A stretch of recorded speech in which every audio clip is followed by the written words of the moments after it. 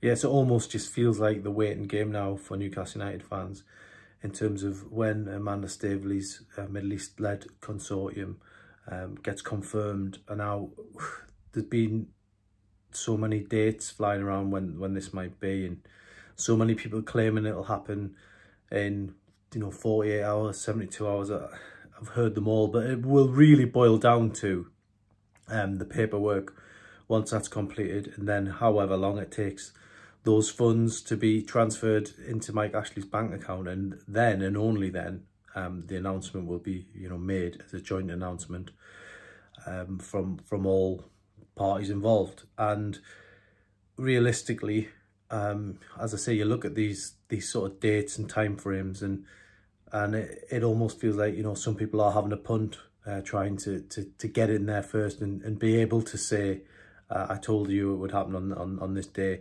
But re realistically, for me, I think once this gets announced, nobody will care where it came from, the, the date, who, who said it. Uh, it. It won't it won't matter. There's so much anticipation here now for people to to to get this deal done and the fans as as we've seen on on, on social media you know to, to get on the cans uh, and, and celebrate what they hope is is the dawn uh, of, of, a whole new era at St James Park. So, um, as I say, waiting game, patience. Um, we've, we've been asked to be patient for, for a long time, more, more than just a, a few months. So we'll wait and see when that announcement exactly is. But with the Premier League coming towards the end of that owners test, with the would-be owners, expecting um, the green light, um, it would now, you know, be down to, you know, the funds, how long it will take to, to get those across.